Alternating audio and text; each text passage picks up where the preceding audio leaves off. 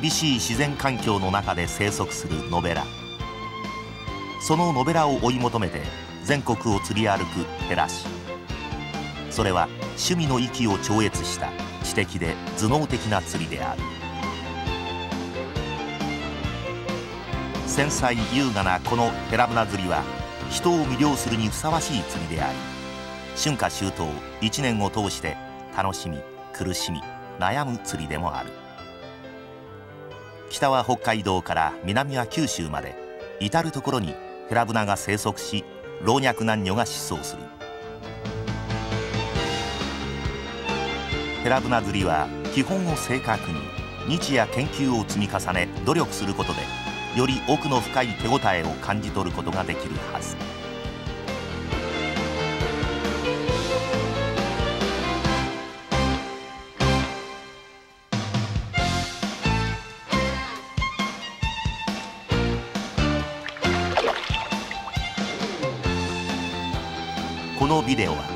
厳しい環境の中で生息するノベラの切磁状態を本格的に捉えた映像であり釣り人が悩むスレカラツン杭の謎を解く唯一のビデオである。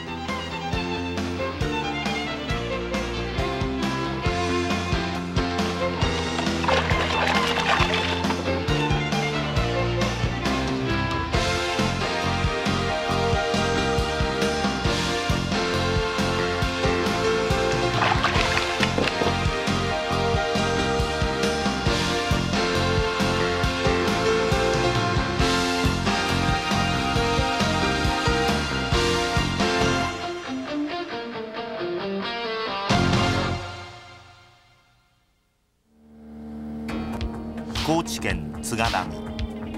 春には50センチを超すヘラブナが群れをなし平均サイズが100に過ぎその量は数えきれないと言われる知られざるダム湖である。今回石井極州名人が新たなポイントを求め実証に挑む。津賀ダムは高知県幡郡大正町に位置し昭和15年1月に完成。1400万立方メートルの豊かな水量を保ち何十年もの間ヘラブナの稚魚放流を繰り返してきた貴重なダム湖である。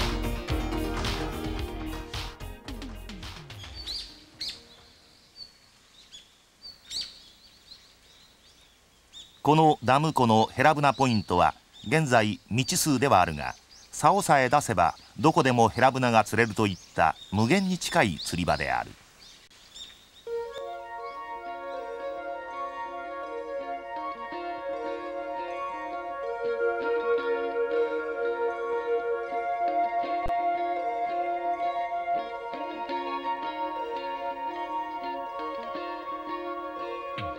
津賀ダム湖は北側と梼原川を源に四万十川に注ぐ澄んだ良質の水を蓄えている。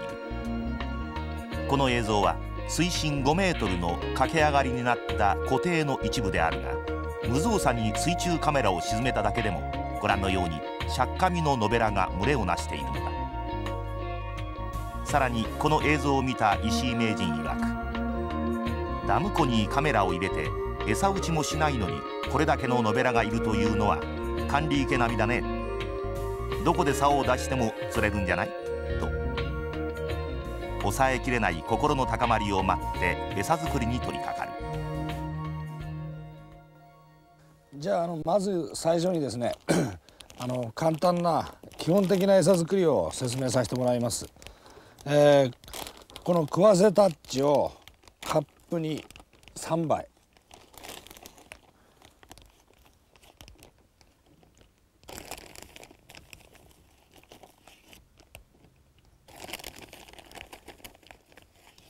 3杯ですね。それにバラケ G を2杯です。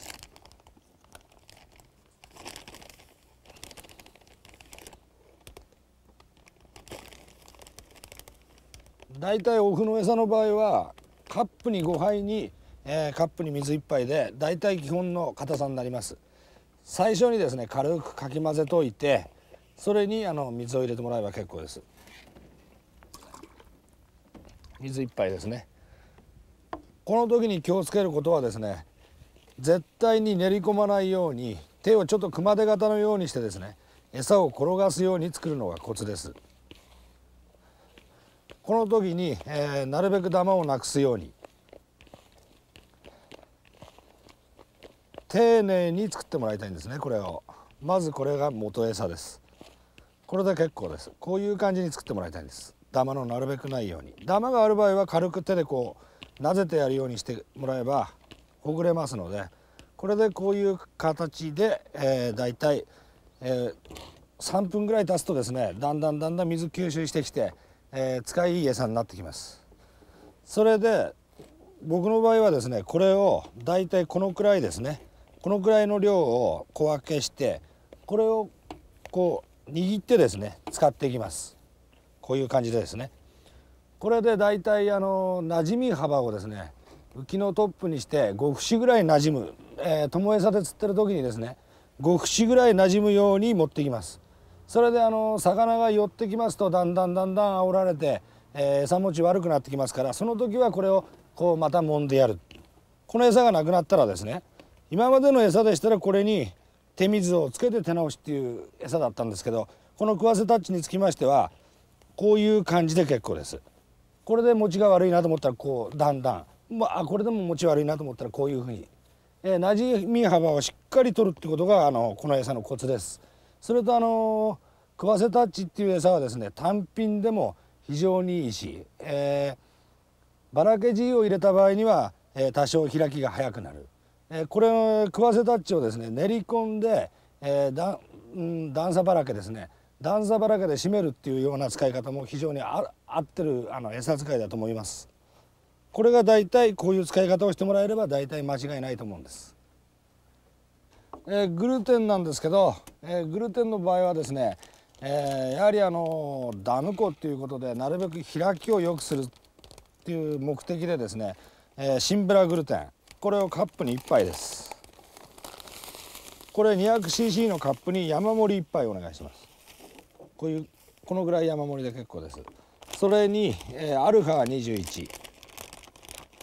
これが 60cc のカップに1杯です。これもちょっとあの山盛りにしてもらいたいんです。山盛りですね。それに、えー、まず軽くこれもかき混ぜてもらうんですけどそれにえー、200cc のカップ1杯の水。これ1杯ですね。それに 60cc のカップをこれで2杯なんです。2杯。これをですね素早くかき混ぜてもらいたいです。あまりあのこういうふうにあの水が浸透し始めてからですねあまりかきかき混ぜてもらいたくないんですね。あんまりかき混ぜますとこのシンベラグルテンの、え粒子があのだんだんだんだん細かくなってってですね粘りが出る原因になりますからこのまんま放置してもらいたいんです。ちょっと時間かかるんでこれも3分ぐらいこのこのまんま置いてもらうと結構なんですけどこれをちょっとまだや柔らかいんですけど硬くなってからですねこういうふうに裏返して使ってもらうんです、えー、やはりこれでですね気をつけることは開きが早すぎる時にはアルファ21を、えー、多めにしてこのシンベラグルテンを少なめにするとかそのこのシンベラグルテンの場合は非常に開きがいいですから、え、これを多く入れることによって開きます。またこのアルファ21は、え、非常にあのグルテンの量多くなってますから開きが、えー、柔らかくしても持つようになってますからこれを多めに入れてこれを少なめにすれば、え、今度は開き悪くあの開きがあのあんまりパッと開かなくですね、え、持ちが良くなりますんで魚がたくさん寄った場合にはこれを多めに、え、魚の寄りの悪い時にはこのシンベラグルテンを多めにそういう使い分けしてもらえるとあの魚の状態に合わせてですねあのどちらが多いかっていうのはあの判断してもらうといいと思うんです。初めて私もあの津賀ダムに来て、えー、非常に不安だったんで一応長い竿から試してみたんです。で水深が大体3本半ぐらいのところ3本ぐらいの宙吊りから始めさせてもらったんですけど、えー、そこの状態がですね、えー、かなり駆け上がりになってまして、えー、かなり魚のつき場っていうかそういうような感じ受けました。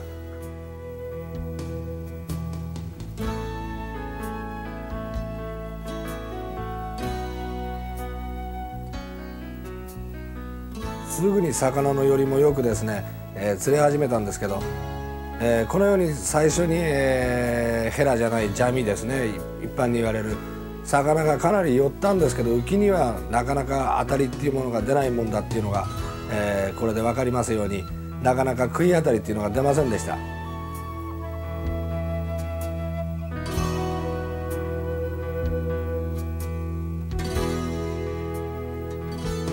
だんだんだんだんですねこれあのジャミの数が減ってきたように、えー、やってるうちにどんどんどんどんヘラが、えー、寄ってきまして、えー、寄ってきますとジャミが、えー、わずかずつですね、えー、画面から消えていくと思うんですけど。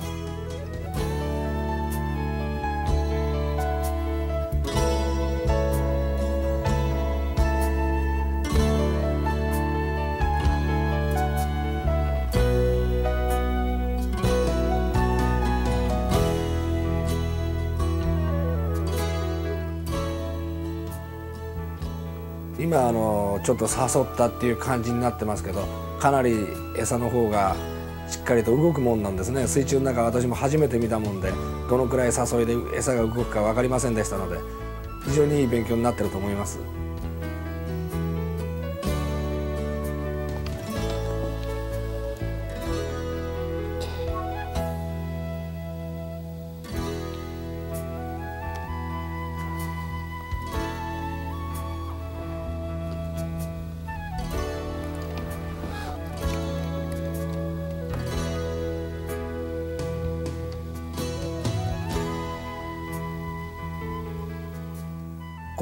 ねヘラがあのいくつか寄ってきたところなんですけど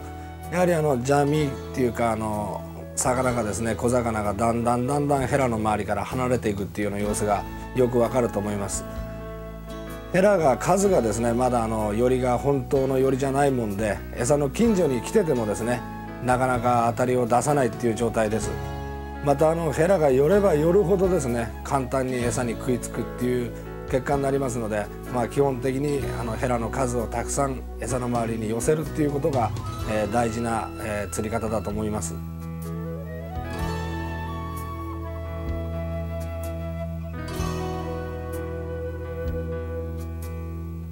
このようにあの魚がですねあの今尻尾で煽ったような形になってますけどかなりあの浮きにはあの出てると思いますね当たりが。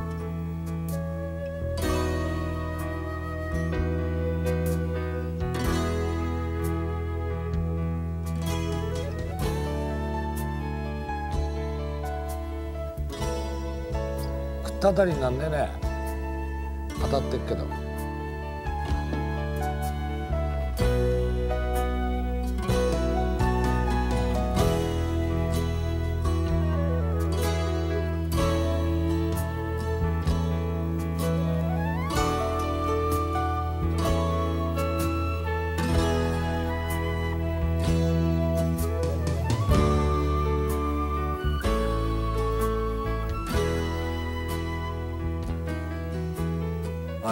当たりが出始めたところですけど大体打ち始めて大体30分ぐらいであの釣れ始めたんですこの日はねですからこの津賀ダムっていうところはあのかなり魚が濃いっていうか、えー、大変数がいるっていうまあ隠れた釣り場の一つだと思います。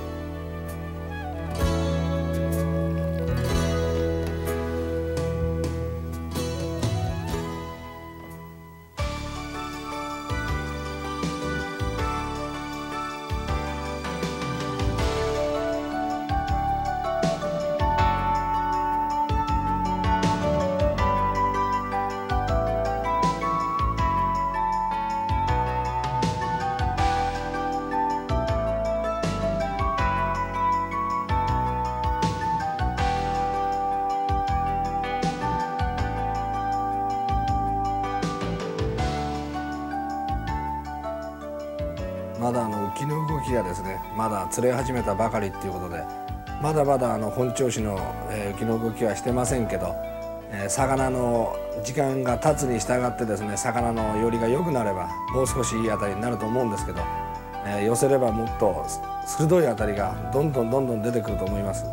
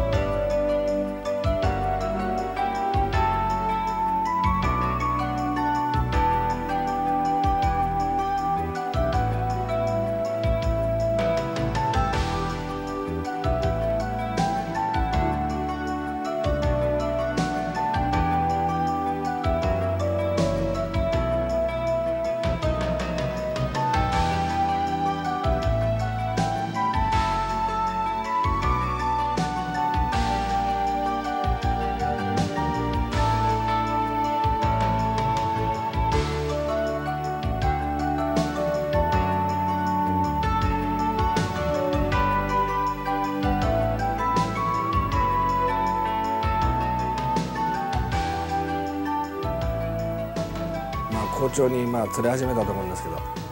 やはりあのノベラっていうことで非常にあの引きがいいっていうかも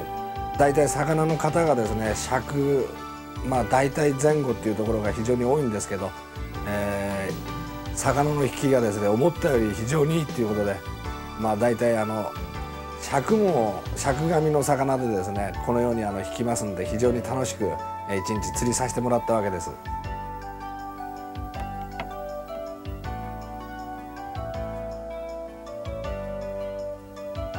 すごいですねこれは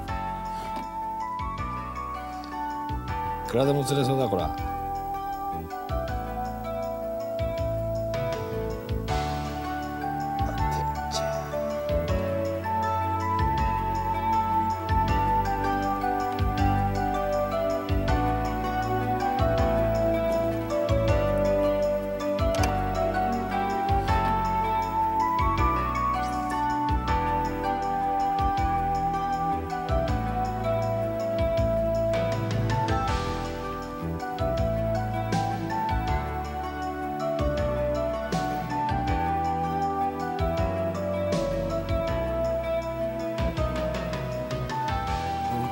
がですね今見たように馴染む時に非常に大きな当たりが出てきましたけどこういうふうになった場合はですね非常に魚の寄りが良くなったということで比較的釣りも簡単になってくるっていうわけなんですね。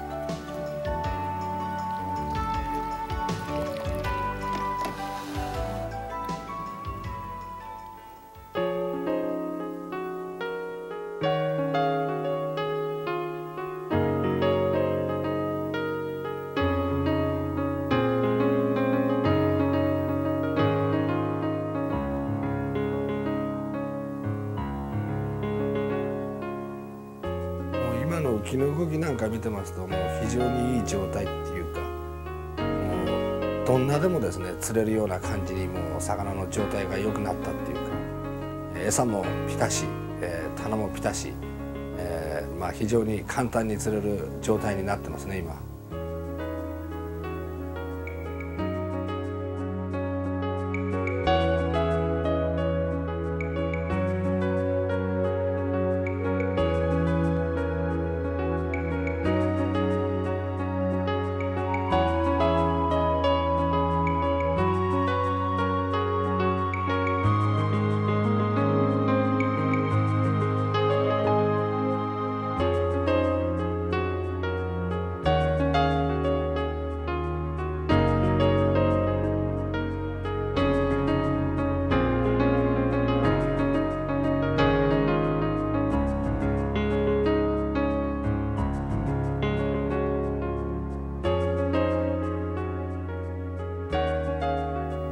まで順調に釣れ釣れていたんですけど、えー、ここであの食い当たりが非常に出るのが遅くなったもんで、えー、また釣れるようにですね餌の修正をしてみたいと思います。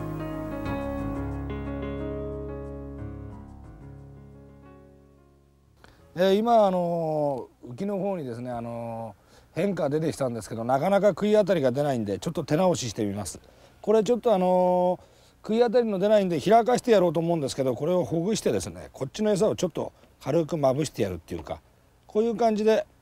直してもらえればですね新しい麩が入ってますから非常に開き良くなります。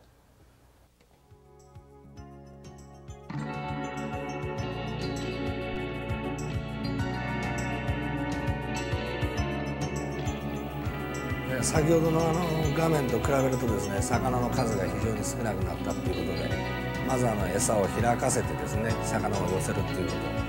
えー、今の当たりのようにあの小さくじゃなくですね寄れば寄るほど大きい当たり出ますので、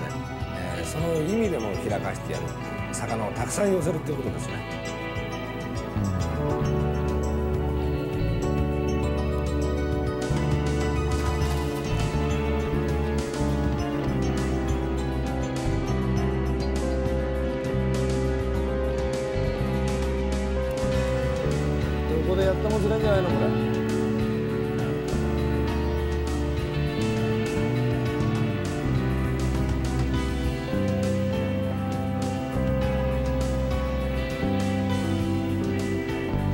だんだんだんだんあの当たりがですね今のあの途中で雪が止まるような形になってきたっていうことは魚が数が寄ってきたってことですから、えー、まずあの魚を寄せて気をつけることは、えー、スレあたりが非常に多くなりますのでその当たりを取らないようにですねしっかりとした当たりを取っていくように心がけてもらいたいと思います。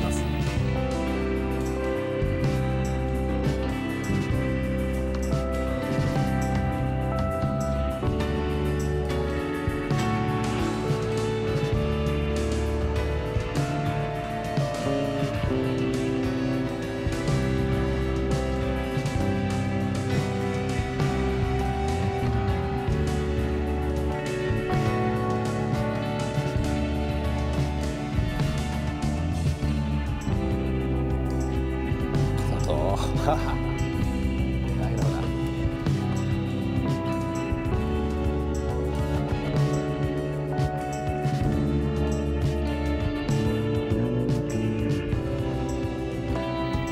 日はあの11月の初旬ということで、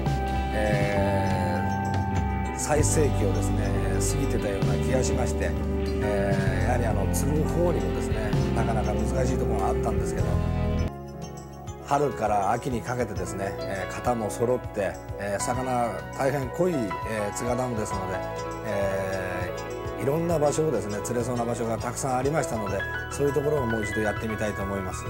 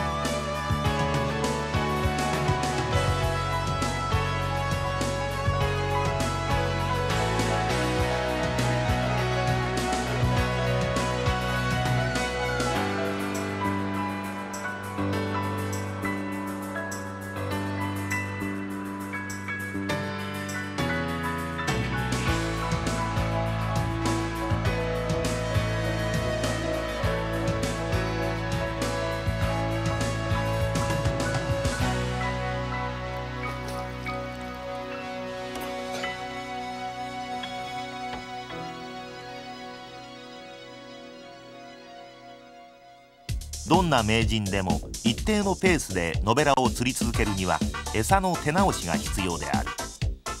餌の質水の量粘り加減。それは釣り人が決めるのではなくノベラが決める。ヘラシはその状況を見抜くこと。それがヘラブナ釣りの真髄であろう。それではヘラブナ釣り師の悩みの一つでもあるスレ当たりとは。カラツンとは。食い当たりとはどんな状態なのか。ノベラの食いと浮きの当たりを同画面同時間でご覧いただきその謎を解いていこう。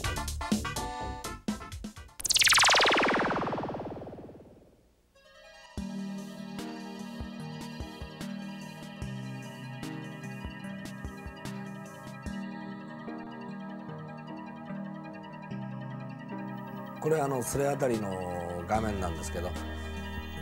このようにですね魚が寄ってくると浮きにかなり変化出てますね今のようなあたりはもう必ずもう皆さん合わせてると思うんですけどやはりあの先ほど言いましたように、え、しっかりした当たりを取るようにっていうことを説明させてもらったんですけどやはりあの、このように魚が集まりますと浮きがかなりあのー、食い当たりに見えるような当たりがかなり出てます。ですのであのしっかりした当たりですね今あの何ていうんですかあの魚が触っただけでも合わすような当たり出てますからまああの基本的にはしっかりした当たりを取ってもらえればいいと思うんですね。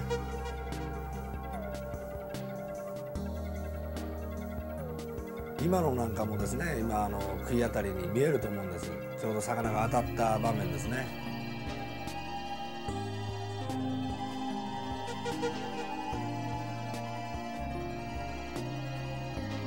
これなんかもあの浮きの動きをちょっとあの見ますと、えー、刻み込んでいくような当たりには見えるんですけどやはりあの当たり自体が、えー、軽いっていうかあのしっかり強い当たりになってませんね。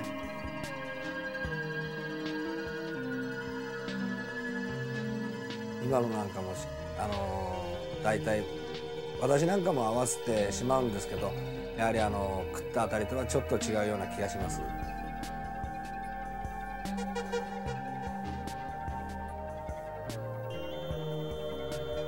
のジャミがたくさん寄ってますけどこのジャミのあたりもですね浮きにあのちょっと変化出てますけどそれほどあのヘラとジャミのあたりっていうんですかそういうものはあの見分けつくと思うんですけど今のなんか完全のすれあたりですね。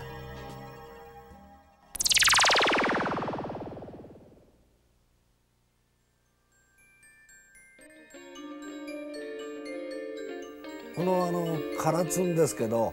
えー、まあよく言われるカラツン対策はどういうふうにすればいいかっていうことを聞かれるんですけどこのカラツンっていうのはですね餌が硬いか、えー、粘りがあるかそのどっちかだと思うんですですからあの吸い込んだ場合にですね硬い餌を吸い込んだ場合はあの口の中に入った場合に、えー、ヘラの違和感があるんであのすぐ吐き出すっていう形でこれが0.3秒っていうことなんですね。ですからあの針がかりしてこないっていうことで。餌を柔らかくするかそれとあの先ほどあのやりましたように、えー、粘りがあるところに新しい句を加えて、えー、粘りを解消させてやるかそのどっちかであのこれからあのしっかりした当たりでですね、えー、連れていくと思います。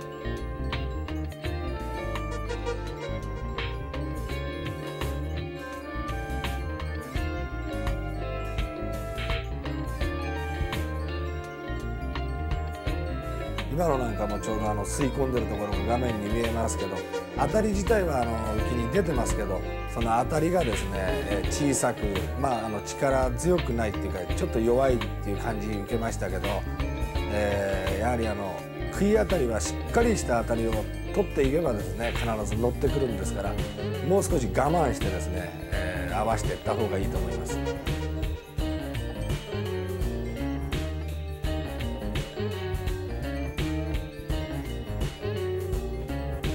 やはりあの吸い込んで硬いからすぐに今も吐き出してますね。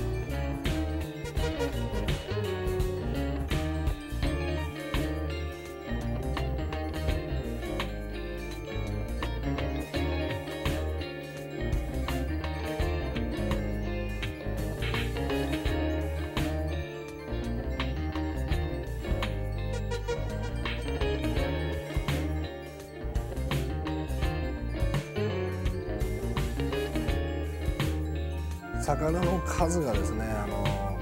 今画面にある非常に多くなってきましたけどこういう時はですねあの食いが活発になってきてる時ですから餌をちょっと柔らかくしてやるとかばらけさせてやるとかちょっと工夫してもらえれば簡単に釣れるようになると思います。